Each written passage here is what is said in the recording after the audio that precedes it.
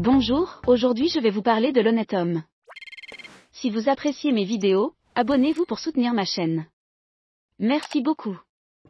L'honnête homme au XVIIe siècle est un idéal de comportement et de vertu dans la société française, promu par les moralistes et écrivains comme La Rochefoucauld, Molière et La Bruyère.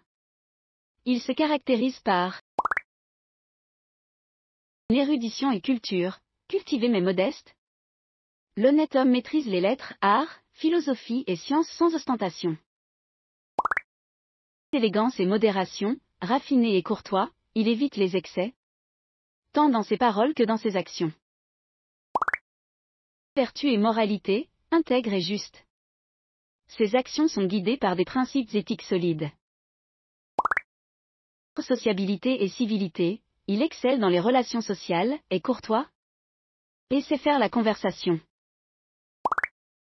Esprit et jugement, doté d'un esprit fin et critique, son jugement est équilibré entre raison et sensibilité. En somme, l'honnête homme incarne un idéal culturel et moral, marquant profondément la société et la littérature française du XVIIe siècle.